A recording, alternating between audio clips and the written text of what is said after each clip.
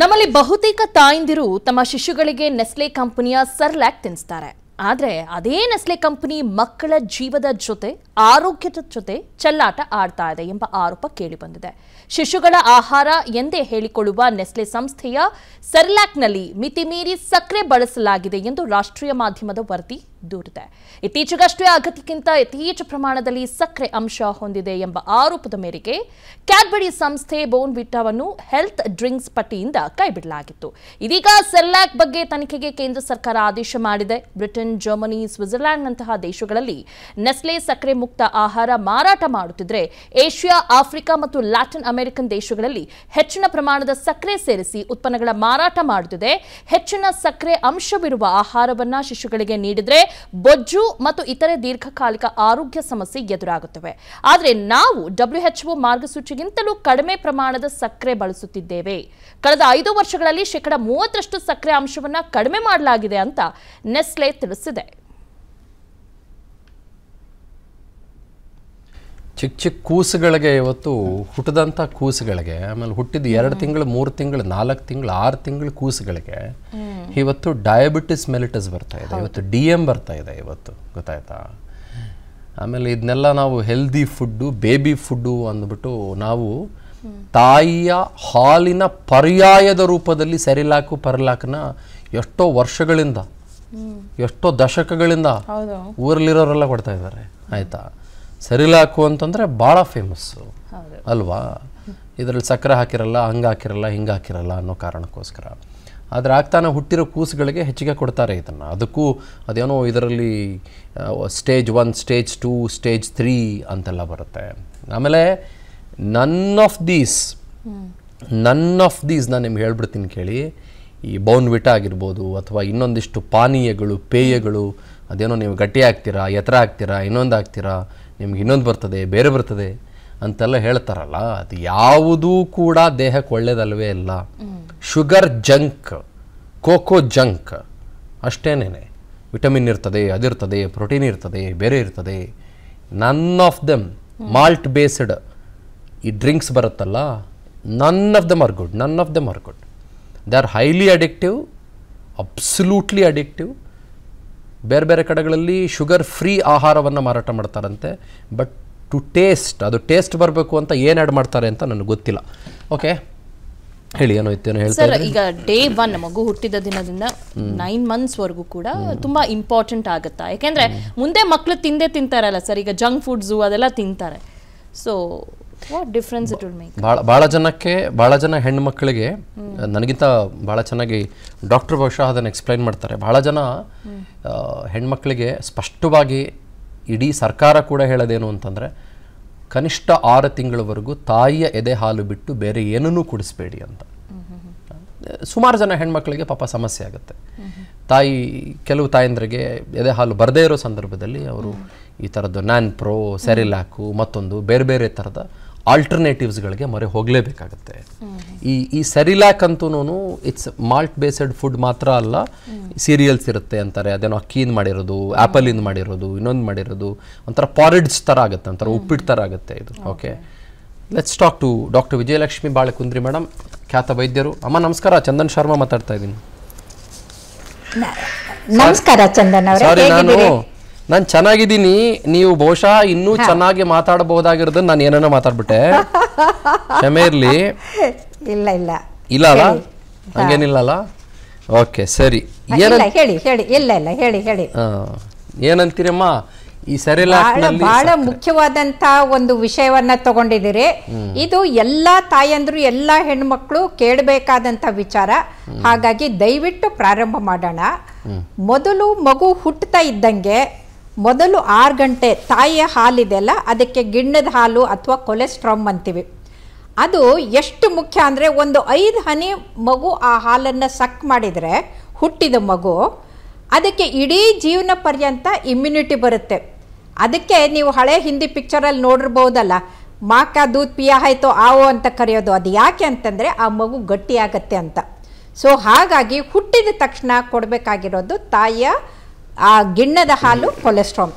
ಮುಂದೆ ಆರು ತಿಂಗಳವರೆಗೂ ತಾಯಿಯ ಹಾಲು ಅಮೃತ ಇದ್ದ ಹಾಗೆ ಯಾಕಂದರೆ ಮಗುಗೆ ಆ ಇಂಟೆಸ್ಟೈನ್ ಒಳಗಡೆಗೆ ಒಂದು ಇನ್ನರ್ ಲೇಯರು ಬರದೇ ಈ ತಾಯಿಯ ಮೊದಲ ಹಾಲಿನಿಂದ. ಹಾಗಾಗಿ ಅದು ಭಾಳ ಭಾಳ ಭಾಳ ಮುಖ್ಯ. ಆರು ತಿಂಗಳವರೆಗೂ ತಾಯಿ ಹಾಲು ಕೊಡಬೇಕು ಅಂತ ನೋಡಿ ನಾವು ನಲ್ವತ್ತು ನಲ್ವತ್ತೈದು ವರ್ಷದಿಂದ ಡೆಲಿವರಿ ಆದಾಗ ನಮಗೆ ಕೇವಲ ಫಾರ್ಟಿ ಫೈವ್ ಡೇಸ್ ಲೀವ್ ಸಿಕ್ಕೋದು. ಈಗ ಮೋದಿಯವರು ಹೆಣ್ಣುಮಕ್ಕಳಿಗೆ ತೊಂದರೆ ಆಗಬಾರ್ದು ಅಂತ ಮೂರರಿಂದ ಆರು ತಿಂಗಳವರೆಗೂ ಅವರು ಡೆಲಿವರಿ ಆದಮೇಲೆ ಅವ್ರಿಗೆ ಮಗುಗೆ ಹಾಲು ಕುಡಿಸೋಕ್ಕೋಸ್ಕರನೇ ಡೆಲಿವರಿ ಲೀವನ್ನು ಹೆಚ್ಚು ಮಾಡಿದ್ದಾರೆ. ಇಂಥ ಸಮಯದಲ್ಲಿ ನಮ್ಮ ಹೆಣ್ಮಕ್ಕಳು ತಮಗೆ ಶೇಪ್ ಹಾಳಾಗತ್ತೆ, ಹಾಲು ಕುಡಿಸಿದ್ರೆ ಇದಾಗತ್ತೆ ಅಂತ ಯಾವುದ್ಯಾವುದೋ ಕಾರಣಗಳಿಂದ ಈ ಮೇಲಿನ ಟಿನ್ ಮಿಲ್ಕು ನೆಸ್ಲೆ ಮಿಲ್ಕನ್ನು ಕೊಟ್ಟಿದ್ದೆ ಆದರೆ ಆ ನೆಸ್ಲೆ ಮಿಲ್ಕ್ನಲ್ಲಿ ಬಹುಶಃ ಚಂದನ್ ಅವರೇ ನಿಮ್ಗೆ ನೆನಪಿರ್ಬೋದು. ಒಂದು ಕಾಲಕ್ಕೆ ಕೊಯಂಬತ್ತೂರಿನಲ್ಲಿ ನೆಸ್ಲೆ ಇದರಲ್ಲಿ ಹುಳ ಬಂದಿದೆ ಅಂತ ಗಲಾಟೆ ಆಗಿತ್ತು. ಆವಾಗ ಎಷ್ಟೊಂದು ಗಲಾಟೆನೂ ಆಗಿತ್ತು. ಇದು ಯಾಕೆ ಇದು ಪ್ರಾಬ್ಲಮ್ ಆಗಿದೆ ಅಂದರೆ ನೆಸ್ಲೆನವ್ರದ್ದು ನೀವು ಆ ಹಾಲು ಪೌಡ್ರನ್ನೇ ತಗೊಳ್ಳಿ ಕ ಸೆರೆ ನೆಸ್ತಮೆ ತಗೊಳ್ಳಿ ಸೆರಿಲಾಕೆ ತಗೊಳ್ಳಿ ಇವು ಎಲ್ಲರಲ್ಲೂ ಕೂಡ ಸಕ್ಕರೆ ಅಂಶ ಭಾಳ ಇದೆ. ಅಂದರೆ ಒಂದು ಸಲ ಒಂದು ಮಗು ಒಂದು ಬೌಟ್ ಹಾಲು ಕುಡಿದ್ರೆ two point seven gram extra sugar ತೊಗೊಂಡಂಗೆ ಆಗುತ್ತೆ. ಈ ಶುಗರ್ಗೆ ನಾವು ಸಕ್ಕರೆಗೆ ವೈಟ್ ಪಾಯ್ಸನ್ ಅಂತ ಕರಿತೀವಿ. ಸೊ ಈ ವೈಟ್ ಪಾಯ್ಸನನ್ನು ಮಗು ಇದ್ದಾಗಲೇ ಶುರು ಮಾಡಿದರೆ ಕಷ್ಟ ಆಗುತ್ತೆ. ಇನ್ನೊಂದೇನೆಂದರೆ ತಾಯಿ ಹಾಲು ಅತ್ಯಂತ ಪ್ಯೂರ್ ಆಗಿರುತ್ತೆ. ಅದು ಏನು ಅದಕ್ಕೆ ಕಾಯಿಸಬೇಕಾಗಿಲ್ಲ, ಅದರಲ್ಲಿ ಯಾವ ಥರದ್ದು ಒಂದು ಕಲುಷಿತವಾಗಿ ಇರೋದಿಲ್ಲ. ಆದರೆ ನಾವು ಮೇಲೆ ಹಾಲು ಮಾಡಿದಾಗ ಈ ಪಾತ್ರೆಗಳನ್ನು, ಬಾಟ್ಲನ್ನ ಕುದಿಸೋದು ಅದು ಸರಿ ಇಲ್ಲದೆ ಮಕ್ಕಳಿಗೆ ಮೇಲಿನ ಮೇಲೆ ವಾಂತಿ ಭೇದಿ ಆಗೋದು ಶುರುವಾಗಿ ಹೋಗ್ಬಿಡುತ್ತೆ. ಹಾಗಾಗಿ ಇಂಥ ಸಮಯದಲ್ಲಿ ಅವರು ಭಾಳ ಕೇರ್ಫುಲ್ಲಾಗಿ ಇರಬೇಕು. ಆಮೇಲೆ ಈ ನೆಸ್ಲೆದು ಮ್ಯಾಗಿ ಬಗ್ಗೆ ಕೂಡ ಸಿಕ್ಕಾಪಟ್ಟೆ ಕಂಪ್ಲೇಂಟ್ಸ್ ಬಂತಲ್ಲಮ್ಮ? ಅದರಲ್ಲಿ ಲೆಡ್ ಕಂಟೆಂಟ್ ಇದೆ ಅಂತ ಚರ್ಚೆ ಆಯಿತು. ನಾನು ಮಾತಾಡ್ ಕಾಲ್ ಕಟ್ ಆಗಿದೆ. ಓಕೆ. ಸರಿ ಅಮ್ಮ ಥ್ಯಾಂಕ್ಸ್ ಅಮ್ಮ ಥ್ಯಾಂಕ್ ಯು ಅಮ್ಮ. ಅದೇ ಸಾಧ್ಯವಾದಷ್ಟು ನಾವು ಆಲ್ಟರ್ನೇಟಿವ್ಸ್ ಏನು ಮಾಡಬೇಕು ಅನ್ನೋದನ್ನು ನಾನು ಕೇಳಬೇಕಾಗಿತ್ತು. ಸಾಧ್ಯವಾದಷ್ಟು ಆಲ್ಟರ್ನೇಟಿವ್ಸ್ ಏನು ಅಂತಂದರೆ ಆಗ ತಾನೇ ಹುಟ್ಟಿದಂಥ ಕೂಸುಗಳಿಗೆ ತಾಯಿಯ ಇದೆ ಹಾಲು ಪರಮಾಮೃತ ಅವ್ರು ಹೇಳಿದ ಹಾಗೆ. ಇಲ್ಲ ಅಂತಂದರೆ ಒಂದು ವೇಳೆ ಹಾಲು ಬರಲಿಕ್ಕಿಲ್ಲ ಅಂತಂದರೆ ಬೇರೆ ಬೇರೆ ಆಲ್ಟರ್ನೇಟಿವ್ಸ್ ಒಂದಿಷ್ಟಿದ್ದಾವೆ ಶುಗರ್ ಫ್ರೀ ಆಲ್ಟರ್ನೇಟಿವ್ಸ್ ಕೂಡ ಒಂದಿಷ್ಟಿದ್ದಾವೆ ಇತ್ತೀಚಿನ ದಿನಗಳಲ್ಲಿ ಮನೆಯಲ್ಲೇ ಎಲ್ಲ ಮಾಡ್ಕೊಳ್ತಾರಲ್ಲ ಬಟ್ ಬಟ್ ಅದೇ ಬಂದೆ ಅದಕ್ಕೆ ಬಂದೆ. ಅದಾದ ನಂತರದಲ್ಲೂ ಕೂಡ ಸೆರಿಲ್ಯಾಕ್ನೇ ತಿನ್ನಿಸ್ಬೇಕು ಅಂತ ಏನಿಲ್ಲ. ನಮ್ಮ ಹಳ್ಳಿ ಕಡೆಗಳಲ್ಲೆಲ್ಲ ಯಾರು ಸೆರಿಲ್ಯಾಕ್ ತಿನ್ನಿಸಿ ಯಾವ ಮಕ್ಕಳನ್ನು ಬೆಳೆಸಿದ್ದಾರೆ? ಅದಾದ ನಂತರದಲ್ಲಿ ಬೇರೆ ಬೇರೆ ಪೌಷ್ಟಿಕವಾದಂಥ ಆಹಾರವನ್ನು ಅವರವರ ಡಾಕ್ಟರ್ಗಳನ್ನು ಕೇಳಿ ನಂತರದಲ್ಲಿ ಕೂಸಿಗೆ ಸಾಲಿಡ್ಸ್ನ ಇಂಟ್ರೊಡ್ಯೂಸ್ ಮಾಡಿಸಬಹುದು.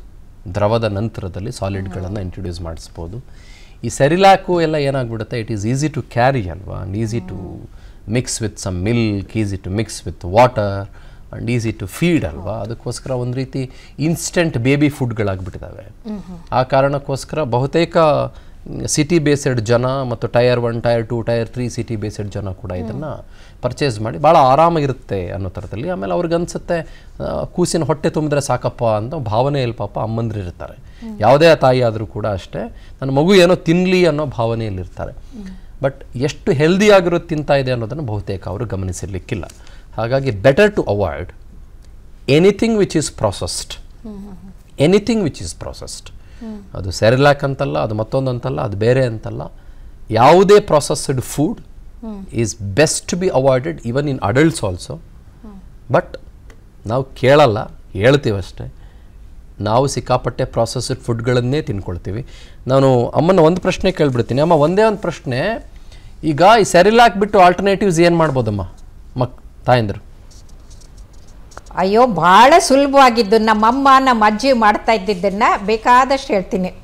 ಒಂದು ನಾವು ರಾಗಿ ಇದನ್ನ ಬೇಯಿಸು ಅಂದರೆ ಒಂದು ಒಂದು ಕಪ್ ರಾಗಿ ಅರ್ಧ ಕಪ್ಪು ಅಕ್ಕಿ ಮತ್ತೆ ಇನ್ನು ಅರ್ಧ ಕಪ್ಪು ಎಲ್ಲ ಬೇಳೆಗಳನ್ನ ಸೇರಿಸ್ಕೊಂಡ್ಬಿಟ್ಟು ಕ್ಲೀನಾಗಿ ತೊಳೆದು ಬಿಸಿಲಲ್ಲಿ ಒಣಗಿಸಿ ಅದನ್ನ ಪೌಡ್ರ್ ಮಾಡಿ ಅದಕ್ಕೆ ಬದಾಮು ಗೋಡಂಬಿನೂ ಸೇರಿಸ್ಬಿಟ್ಟು ಪೌಡ್ರ್ ಮಾಡಿ ಇಟ್ಕೊಂಡ್ರೆ ಮೂರು ತಿಂಗಳವರೆಗೂ ಅದು ಸರಿಲಾಕ್ಕಿಂತೂ ಉತ್ತಮವಾದಂಥ ಒಂದು ರಾಗಿ ಮಾಲ್ಟ್ ಥರ ರೆಡಿ ಆಗುತ್ತೆ. ಇನ್ನೊಂದು ನಮ್ಮ ಅಜ್ಜಿ ಮಾಡ್ತಾ ಇದ್ದಿದ್ದೇನೆಂದ್ರೆ ರೊಟ್ಟಿ ಮಾಡೋಕ್ಕೆ ಜೋಳದ ಹಿಟ್ಟನ್ನ ಕಲಸಿರ್ತಾರಲ್ಲ, ಅದಕ್ಕೆ ಉಪ್ಪು, ತುಪ್ಪ ಸೇರಿಸ್ಬಿಟ್ಟು ದಪ್ಪಗೆ ಮಾಡಿ ಆ ಮಕ್ಕಳಿಗೆ ತಿನ್ನಿಸ್ಬೋದು. ಇದಕ್ಕಿಂತ ಉತ್ತಮ ಅಂತಂದ್ರೆ ಹಾಲಿನನ್ನು ವೀನ್ ಮಾಡೋಕ್ಕೆ ತಲೆ ತಲಾಂತರದಿಂದ ಸಹಸ್ರಾರು ವರ್ಷದಿಂದ ನಮ್ಮ ದೇಶದಲ್ಲಿ ಬಳಸ್ತಾ ಇರೋದು ಬಾಳೆಹಣ್ಣು. ಈ ಬಾಳೆಹಣ್ಣು ಮೆತ್ತಿಗಿರುತ್ತೆ, ಮಕ್ಕಳಿಗೆ ನುಂಗಕ್ಕೂ ಈಸಿ ಆಗತ್ತೆ. ಅದು ಯಾವತ್ತೂ ಕೆಟ್ಟಿರೋದಿಲ್ಲ ಅದರಲ್ಲಿ ಬೀಜ ಇರೋದಿಲ್ಲ. ಆ ಬಾಳೆಹಣ್ಣು ಇದು ತಾಯಿ ಮೊಲೆ ಹಾಲು ಬಿಟ್ಟರೆ ಬಾಳೆಹಣ್ಣು ಅತ್ಯಂತ ಅದ್ಭುತವಾದಂಥದ್ದು. ಆ ಫುಡ್ನ ಅಂದ್ರೆ ಹಾಲನ್ನು ವೀನೌಟ್ ಮಾಡೋಕ್ಕೆ ಮೊದಲು ಬಾಳೆಹಣ್ಣಿನಿಂದನೇ ಪ್ರಾರಂಭ ಮಾಡಬೇಕು. ಅದಾದ ಮೇಲೆ ನಾವು ಇದು ಏನಂತೀರ ರಾಗಿದು ಮತ್ತು ಅಕ್ಕಿದು ನಾನು ಹೇಳಿದ್ನಲ್ಲ ಆ ಹುರಿ ಹಿಟ್ಟು ಥರ ಹುರಿದ ಹಿಟ್ಟನ್ನು ಮಾಡಿಕೊಂಡು ಕೊಡ್ಬೋದು. ಇದಕ್ಕಿಂತೂ ಹೆಚ್ಚಂದರೆ ಮುಂದೆ ಡಬಲ್ ಬಾಯ್ಲ್ ಮಾಡಿರೋಂಥ ಆ ಮೆತ್ತಗಿರೋ ಅನ್ನನ ಕೈಯಿಂದ ಕಿವುಚಿ ಅದಕ್ಕೆ ಸ್ವಲ್ಪ ಬೇಳೆ ಹಾಕಿ ಉಪ್ಪು ಹಾಕಿ ತುಪ್ಪ ಹಾಕಿ ಆ ಮಗುಗೆ ತಿನ್ನಿಸ್ಬೋದು. ಅದು ಒಂಬತ್ತು ತಿಂಗಳಿಗೆ. ಸೊ ಮೊದಲು ಆರು ಆರು ತಿಂಗಳು ತಾಯಿ ಹಾಲು ಅದ ನಂತರ ಬಾಳೆಹಣ್ಣು ಬಾಳೆಹಣ್ಣು ಕೊಡೋಕ್ಕೆ ಶುರು ಮಾಡಿ ಒಂದು ವಾರ ಹದಿನೈದು ದಿನ ಆದಮೇಲೆ ನೀವು ರಾಗಿದು ಮಾಲ್ಟ್ ಥರದ್ದು ಮಾಡಿ ಕೊಡ್ಬೋದು. ಅದರ ಜೊತೆಗೆ ನಾವು ಜೋಳದ ಪುಟಾಣಿ ಚಿಕ್ಕಾಲಿ ಅಂತ ಕರೀತಾರೆ ಅದಕ್ಕೆ. ಚಿಕ್ಕದು ಅದ್ರ ಥರ ಮಾಡಿ ಆ ರೊಟ್ಟಿ ಥರ ದಪ್ಪರದ ರೊಟ್ಟಿ ಥರ ಮಾಡಿ ಅದನ್ನು ತಿನ್ನಿಸ್ಬೋದು ಅದ್ರ ಜೊತೆಗೆ ಮುಂದೆ ಅನ್ನಕ್ಕೆ ತುಪ್ಪ ಹಾಕಿ ಈ ತುಪ್ಪ ಯಾಕೆ ಮುಖ್ಯ ಅಂತಂದ್ರೆ ನೋಡಿ ಅವರು ವೆಜಿಟೇಬಲ್ ಆಯಿಲ್ ಅಂತ ಯಾವ್ಯಾವುದೋ ಹಾಳು ಮುಳು ಆಯಿಲ್ ಯೂಸ್ ಮಾಡ್ತಾರೆ. ತುಪ್ಪ ಬ್ರೈನ್ ಸೆಲ್ಸ್ಗೆ ಬಹಳ ಮುಖ್ಯ. ಫಸ್ಟ್ ನೈನ್ ಮಂತ್ಸು ಹುಟ್ಟಿದ ಮೇಲೆ ಬ್ರೈನ್ ಸೆಲ್ಸು ಬೆಳೆಯುತ್ತೆ. ಆಮೇಲೆ myelin ಶೀತ್ಗೆ vitamin A D E K ಬೇಕು. ಅದೆಲ್ಲವೂ ಕೂಡ ತುಪ್ಪದಲ್ಲಿ ಒಳ್ಳೆ ವಾಹಕ ಆಗಿರುತ್ತೆ. ಹಾಗಾಗಿ ತುಪ್ಪದಲ್ಲಿ ಮಾಡಿದಂಥ ಇದು ಚಿಕ್ಕಾಲಿ ಆಯಿತು. ಅನ್ನ ಅನ್ನ ಬೇಳೆ ತೊವೆ ತರದ್ದಾಯ್ತು ಇದೆಲ್ಲವನ್ನು ಕೂಡ ನಾವು ಮಕ್ಕಳಿಗೆ ಕೊಡ್ಬೋದು. ಈಗ ಕೆಲವು ತಾಯಂದರಿಗೆ ಹಾಲು ಬರೋದಿಲ್ವಲ್ಲಮ್ಮ? ಇನ್ ಅನ್ಫಾರ್ಚುನೇಟ್ ಇನ್ಸಿಡೆಂಟ್ ಅವಾಗ ಒಂದರಿಂದ ಆರು ಸಾಲಿಡ್ ಅದಕ್ಕೆ ಹಾಲು ಬರೋ ಹಾಲು ಬರೋ ಇಲ್ಲ ಇಲ್ಲ. ಹಾಲು ಬರೋ ಸೊಪ್ಪು ಇದೆ ಮಾತ್ರೆಗಳು ಇದೆ. ಅದು ಬರೋದಿಲ್ಲ ಅನ್ನೋದು ಮಾನಸಿಕ ಒತ್ತಡದಲ್ಲಿದ್ದಾಗ ಹಾಲು ಬರೋದಿಲ್ಲ. ಅದು ಹೇಗೆ ಅಂದರೆ ತಾಯಿ ಆಗಿರುವಂಥ ಸಂತೋಷದಿಂದ ಹಾಲು ತಾನಾಗೇ ಸುರಿಯೋಕ್ಕೆ ಶುರು ಆಗುತ್ತೆ ಆದರೆ ಯಾವ ತಾಯಿಯಂದ್ರು ಮಾನಸಿಕ ಒತ್ತಡದಲ್ಲಿರ್ತಾರಲ್ಲ ಅವ್ರಿಗೆ ಹಾಲು ಬರೋದಿಲ್ಲ. ಅದಕ್ಕೆ ಅವರು ನಾನು ತಾಯಿ ಆಗಿದ್ದೀನಿ ಸಂತೋಷ ಭಗವಂತ ಅಂತ ಪ್ರೀತಿಯಿಂದ ಹಾಲು ಕುಡಿಸೋಕೆ ಶುರು ಮಾಡಿದ್ರೆ ಮಗು ಸಕ್ಕಲ್ ಮಾಡ್ತಾ ಇದ್ದಂಗೆ ಅದೇ ಸ್ಟಿಮ್ಯುಲೇಷನ್ ಬ್ರೈನ್ ಹೊಟ್ಟಾಗತ್ತೆ ಹಾಲು ತಾನಾಗೆ ಬರೋಕ್ ಅಲ್ಲ ಇಫ್ ಚಾನ್ಸ್ ಬರದೇ ಇದ್ದ So, ಹಾಗಾಗಿ ಸಂದರ್ಭದಲ್ಲಿ ಆಲ್ಟರ್ನೇಟಿವ್ಸ್ ಅದು- ಏನು? ನ್ಯಾನ್ ನ್ಯಾನ್ ಪ್ರೋ ಅದು ಇದು ಅಂತೆಲ್ಲ ಬರುತ್ತಲ್ಲ ಸೊಪ್ಪು ಸೊಪ್ಪುಗಳು ಸೊಪ್ಪಿದೆ ಸೊಪ್ಪಿದೆ ಹಾಲು ಬರುವಂಥ ಸೊಪ್ಪು ಸಿಕ್ಕುತ್ತೆ. ಆ ಸೊಪ್ಪಿನ ಪಲ್ಯ ಮಾಡಿ ಸೊಪ್ಪಿನ ಸಾರು ಮಾಡಿ ತಿನ್ನಿಸ್ಬೋದು ಟ್ಯಾಬ್ಲೆಟ್ಗಳು ಇರುತ್ತೆ. ಅದನ್ನ ತಾಯಿಗೆ ತಿನ್ಸ್ಬೋದು ಸರಿ ನಾನು ಹೇಳ್ತಾ ಇರೋದು ಮಕ್ಕಳಿಗೆ. ಅಲ್ಲ ನಾನು ಹೇಳ್ತಾ ಇರೋದು ಕೂಸುಗಳಿಗೆ ಜಸ್ಟ್ ಬಾರ್ನ್ ಇನ್ಫೆಂಟ್ಸ್ಗೆ ಒಂದರಿಂದ ಆರು ತಿಂಗಳು. ನೀವು ಸಾಲಿಡ್ಸ್ ಇಂಟ್ರೊಡ್ಯೂಸ್ ಮಾಡ್ಸಕ್ಕಾಗಲ್ಲ. ಅವಾಗ ತಾಯಿ ಹಾಲು ಇಲ್ಲ ಅಂದಾಗ ಏನ್ ಮಾಡ್ಬೇಕು ಅಂತ? ಹೌದು. ಅಲ್ಲ ಅದಕ್ಕೆ ತಾಯಿ ಹಾಲು ಯಾವಾಗ ಬರುತ್ತೆ ಅಂತಂದ್ರೆ ಮಗು ಸಕಲ್ ಮಾಡ್ತಾ ಇದ್ದಂಗೆ ಸ್ಟಿಮ್ಯುಲೇಷನ್ ಬ್ರೈನ್ ಹೊಟ್ಟೋಗುತ್ತೆ ಆ ಫೀಲ್ ಗುಡ್ ಆಕ್ಸಿಟೋಸಿನ್ ಉತ್ಪತ್ತಿ ಆಗ್ತಾ ಇದ್ದಂಗೆ ಹಾಲು ತಾನಾಗೇ ಬರೋಕ್ಕೆ ಶುರು ಆಗುತ್ತೆ ಈ ತಾಯಂದ್ರು ಯಾರು ಈ ಮಾಡರ್ನ್ ತಾಯಂದ್ರು ಹಾಲು ಬರ್ತಾ ಇಲ್ಲ ಬರ್ತಾ ಇಲ್ಲ ಅಂತಾರಲ್ಲ ಕಾರಣ ಏನಂದ್ರೆ ಮಾನಸಿಕ ಒತ್ತಡದಲ್ಲಿ ಇರೋದ್ರಿಂದ ಅವ್ರಿಗೆ ಹಾಲು ಬರೋದಿಲ್ಲ. ಅವ್ರ ಮನಸ್ಸು ಸಮಾಧಾನವಾಗಿ ಸಂತೋಷದಿಂದ ಮಗು ಹುಟ್ಟಿದೆ ಅಂತ ಮಗುನ ಅಪ್ಕೊಂಡಾಗ ಆಕ್ಸಿಟೋಸಿನ್ ಉತ್ಪತ್ತಿ ಆಗುತ್ತೆ ಅದರಿಂದ ಹಾಲು ತಾನಾಗೇ ಸುರಿಯೋಕ್ಕೆ ಶುರು ಆಗುತ್ತೆ ಆ ಹಾಲು ಬರೋಕ್ಕೋಸ್ಕರ ಸೊಪ್ಪು ಇದೆ ಮಾತ್ರೆಗಳಿದೆ ಎಲ್ಲವನ್ನೂ ಕೊಡ್ಬೋದು. ಹಾಲು ಯಾವುದೇ ತಾಯಿಗೂ ಖಂಡಿತ ಬಂದೇ ಬರುತ್ತೆ. ಆ ಮಾನಸಿಕ ಒತ್ತಡ ಹೋಗ್ಬೇಕಷ್ಟೇ. ಆಲ್ ರೈಟ್ ಮಾ ಥ್ಯಾಂಕ್ ಯು ಮಾ ಥ್ಯಾಂಕ್ ಯು ನಮಸ್ಕಾರ. ಅನುಕ್ಷಣದ ಸುದ್ದಿಗಳಿಗಾಗಿ Vistara news YouTube channel subscribe ಮಾಡಿ. ಹೊಸ ಸುದ್ದಿಗಳ ನೋಟಿಫಿಕೇಶನ್ಗಾಗಿ ಬೆಲ್ ಐಕಾನ್ ಕ್ಲಿಕ್ ಮಾಡಿ. Latest ಅಪ್ಡೇಟ್ಸ್ಗಾಗಿ W W W dot Vistara news dot com ವೆಬ್ಸೈಟ್ಗೆ ವಿಸಿಟ್ ಮಾಡಿ. ಅಂಗೈಯಲ್ಲೇ ಜಗತ್ತಿನ ಸುದ್ದಿ ತಿಳಿಯಲು Vistara news Kannada app download ಮಾಡಿ.